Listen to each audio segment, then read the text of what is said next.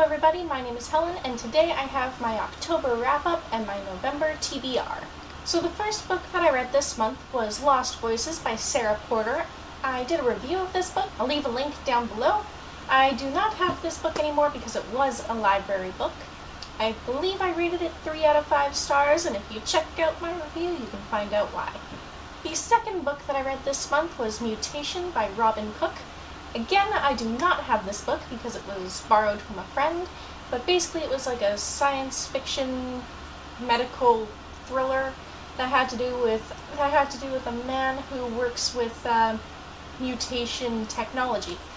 I gave that book 5 out of 5 stars, and again, I have a review of it, so I'll link that down below. The third book I read this month was Tell the Wolves I'm Home by Carol Rifka Brunt. I read this for one of my book clubs on Goodreads, and it's about this girl whose uncle died from AIDS and how she kind of just learns about him through uh, his husband, actually. And it's such a good book, and it's such a good coming of age story. I rated this 4 out of 5 stars, I believe. The next book I read was The Land of Stories, The Wishing Spell by Chris Colfer. I have been wanting to read this book for a long time, and I was really glad that I did. It's a story about twins who fall into their grandmother's fairy tale book and how they have to get their way back home. I gave this book four and a half out of five stars, I believe. It was actually a lot of fun, and I think that Chris Colfer did a really good job. The next book that I read was The Curious Incident of the Dog in the Nighttime by Mark Haddon?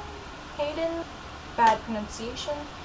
Uh, the story is uh, told from the point of view of a child with Asperger's as he's trying to solve the crime of his neighbor's dog being murdered. So this was a really interesting read. I believe I rated it 4 out of 5 stars on Goodreads. I recommend it to everybody. It's just such an eye-opener for the way that certain people do think, and I think it was a really good way to do it. The next book that I read this month was Divergent by Veronica Roth. I have owned this book for probably two years and I never got around to reading it until this month. I loved it. I own Insurgent and Allegiant now, so I'm gonna read those probably soon-ish. I want to know how this is all gonna go. I rated this book 4 out of 5 stars, I believe, because I found it to be really, really interesting, and I really liked the characters. I actually don't know why I didn't rate it 5 out of 5. I'm gonna go change that rating. The next book that I read was Delirium by Lauren Oliver. I did a review of this book, and I'll leave the link down below. I gave this book 4.5 out of 5 stars because I really liked the story, but the like the first half of it was really, really slow. So the second half made up for it, but the first half was still really slow. I am going to read Pandemonium and Requiem eventually, but that depends on one, when I can buy them, and two, when I have time. The next book that I read was Anna Dressed in Blood by, I already butchered this name in another video, Kendare, Kendar, Kendare, Blake, however you pronounce it. This book is about a ghost hunter named Cass, and he goes to Thunder Bay to hunt Anna dressed in blood, but of course she's not what she seems, and beautiful things happen in this book. It is so good.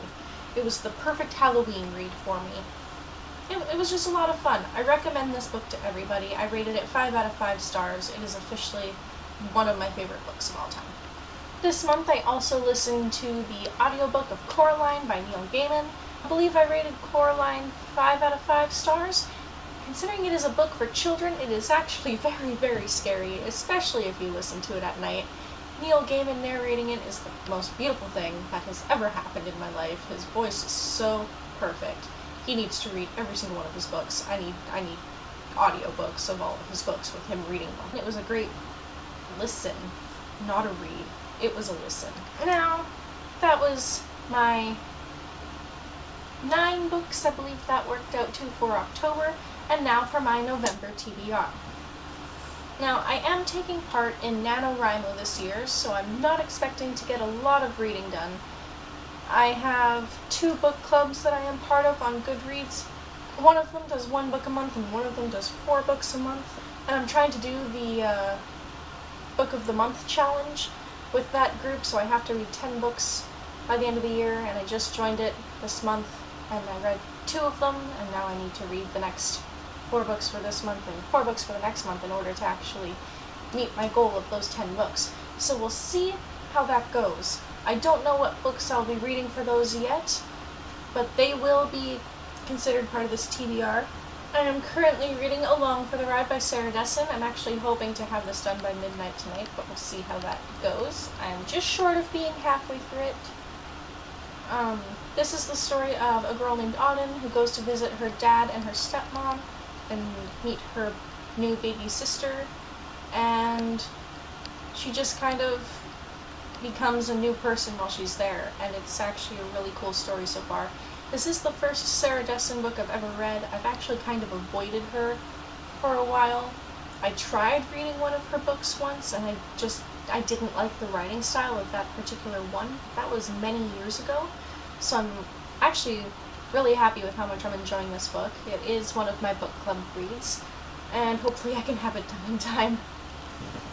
Now, because of the fact that so many of my books that I will potentially read this month come from my book clubs, I will only have one book that I'm actually going to take out of this. I have a TBR jar because I have a lot of books that are old and I have not read them, and I have a lot of books that I have bought that are new, if I don't do this to myself and make myself pull out a book that is one of my older ones to read, then I will never read my old ones. I'll just keep reading my new ones, and it will just be ongoing and terrible.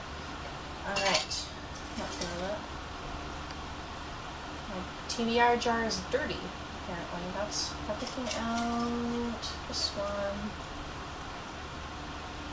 That doesn't help me. The strip says Doctor Who. But I have, I have four Doctor Who books. Way to go, Helen. Way to go. And I'll have to go through this later and find out which one this is supposed to be. Actual one to come out now.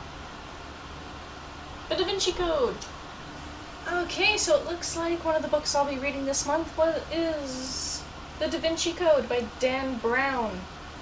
I have wanted to read this for a while, actually, so thank you, TBR Jar. Um, um, so I don't actually know much about this book. I never watched the movie because when it came out I was like 8 and it looked really scary, so I just never did. So it looks like this is about a symbologist named Robert Langdon who receives an urgent call because they believe that they have found a hidden clue in the works of Da Vinci and they all go together. Alright everybody, that is it. That was my October wrap-up and my November TBR. Just so you know, I will be doing nano vlogs throughout NaNoWriMo. I do not know if I'll be doing them daily or weekly or just whenever I kind of think about it, but I will be doing it. I will update you on my word count. I will leave the link to my profile in the thing down below.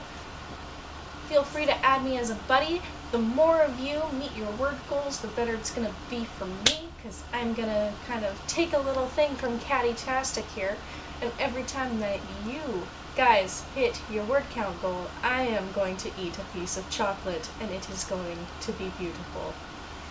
I guess I will see you hopefully tomorrow with my first nano vlog.